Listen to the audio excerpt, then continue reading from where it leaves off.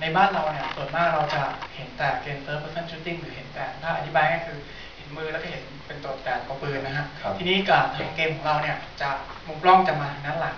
จะสามารถมองเห็นได้ในลักษณะครึ่งตัวนะครับ ทีนี้อ่ามีข้อได้เปรียบเสียเปรียบยังไงก็คือข้อข้อได้เปรียบคือว่าเราสามารถที่จะมองเห็นอิริยาบถครับ ตัวละครนะครับ เวลาไม่ว่าจะเป็นเวลาที่ตัวละครเข้าไปที่กำบังนะฮะแล้วทำการปลาปลาระเบิดออกมาหรือว่าทำการยิงออกมานะครับ ก็จะเห็นอ่าเราสามารถเพิ่มแอคชั่นเข้าไปได้ ครับ มากยิ่งขึ้นนะครับเป็นการเพิ่มอรรถรสอย่างหนึ่งครับ ก็เลยเลือกที่จะทำเป็น third person shooting ใช่ครับ อืมครับผมแล้วเอ่ออย่างนี้เอ่อเกมเมื่อกี้ที่เราดูกันจาก trailer ตอนต้นเนี่ยนะครับผมเหมือนเหมือนไม่ได้เล่นเกมเหมือนดูแบบแอนิเมชันอะไรสักแอนิเมชันหนึ่งอยู่ใช่ไหมครับพี่ฝนครับ ก็เราหวังว่าจะเป็นอย่างนั้นค่ะ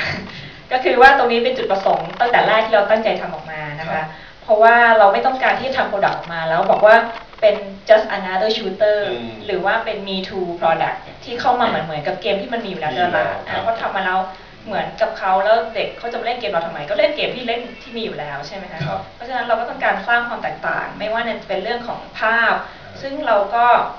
ตอนนี้เราต้องบอกว่า KMK เองเนี่ย ครับ กราฟิกที่ที่ที่เอามาให้เห็นนี่เรียกว่าผ่านเกมออนไลน์ไปแล้ว เป็นเป็นคุณภาพกราฟิก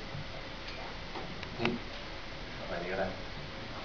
เป็นคุณภาพกราฟิกที่อยู่ในระดับคอนโซลออฟไลน์นะคะที่อยู่ตลาดทั่วๆไปแล้วตอนนี้ครับ